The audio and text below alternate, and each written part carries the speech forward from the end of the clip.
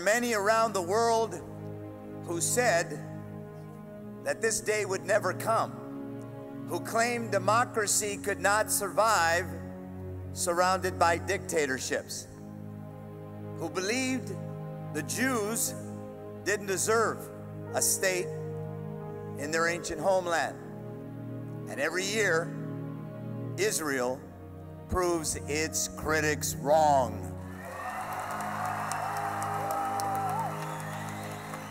It shows the true meaning of courage in the face of terror. It demonstrates the power of hope in a region consumed by fear.